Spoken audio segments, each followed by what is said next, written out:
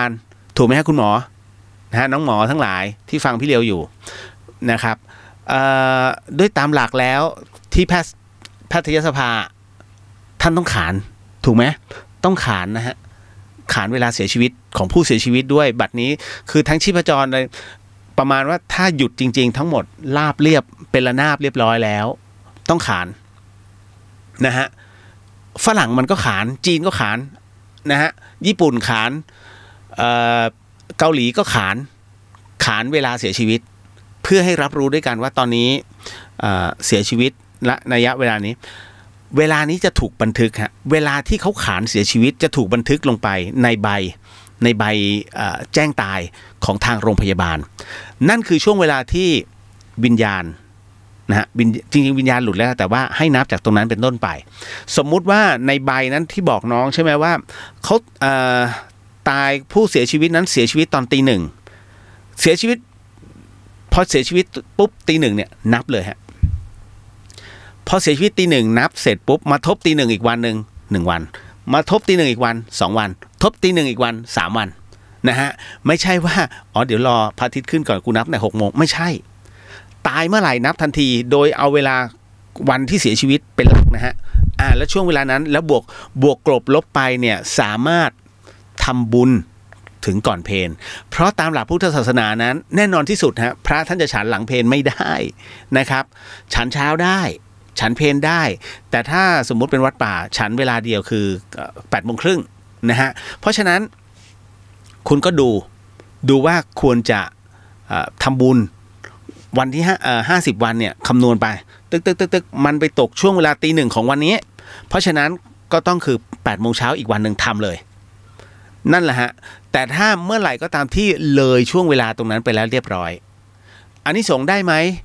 ก็ได้อะได้ของการทำแต่มันไม่ได้ทวีคูณ หลวงปู่ดูพรมปัญโยเนี่ย ท่านจะบอกไว้เลยครับว่า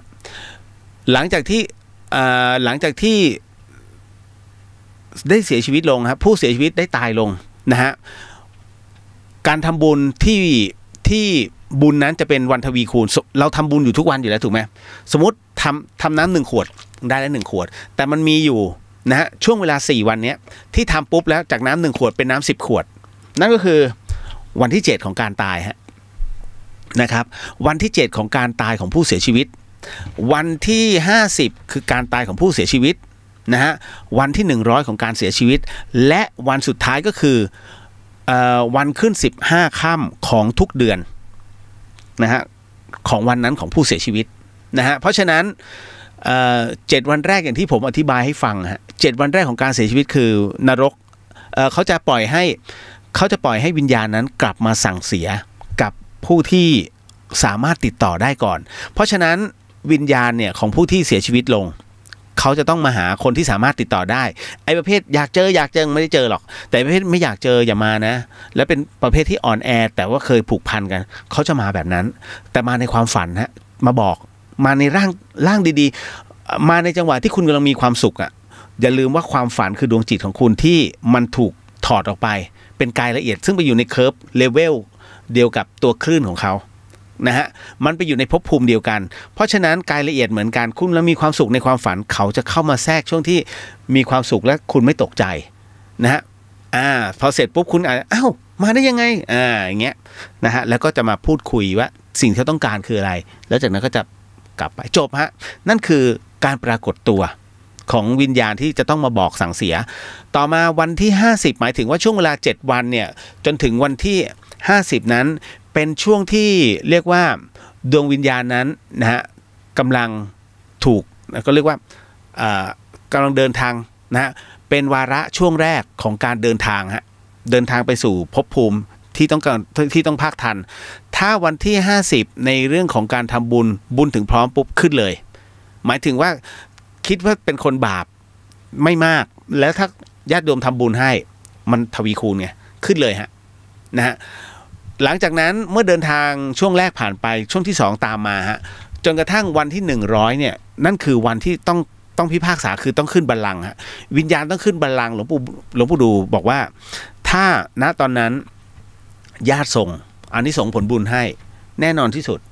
ขึ้นทันทีฮะไม่ต้องรอพิพากษาไม่ไม่ต้องรอเรียกช่างบุญช่างบาปไม่ต้องนะฮะในส่วนตรงนี้ถ้าจะมีข้อสงสัยว่าอ้าวตายตอนตีหนึ่งแล้วไปทำบุญนะตรงนี้เขาก็พิพากษาไปแล้ว ไม่ใช่ ผมบอกเสมอว่า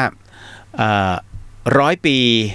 นรกเท่ากับหนึ่งวัน เอ้ยขออภัยร้อยปีโลกมนุษย์เท่ากับหนึ่งวันนะฮะในนรก นะครับเพราะฉะนั้นร้อยปีมนุษย์เนี่ยเท่ากับหนึ่งวันนรก ดังนั้นช่วงเวลาที่มันผ่านไปเนี่ยไม่ถึงกี่ชั่วโมง มันแค่ใช้คำว่าวินาทีแล้วกัน วินาทีของอีกภพภูมิ เพราะฉะนั้นอย่าไปแคร์นะฮะแต่ให้จำวันให้แม่น แค่นั้นแหละ ถ้าพลาดวันไปนะฮะถามว่าแล้วจะยังไงต่อก็ได้บุญ คือการทำบุญได้บุญแต่อย่างทำหนึ่งขวดก็ได้หนึ่งขวด ไม่ใช่ทำหนึ่งขวดแล้วได้สิบขวดถูกไหมฮะนั่นแหละ กะให้ดีนะนะฮะสำหรับคนที่อยากจะทำบุญให้กับผู้ที่ที่ล่วงลับไปแล้วนะฮะเอาละเกตนะยีดคนต่อมาน้องปาล์มฮะ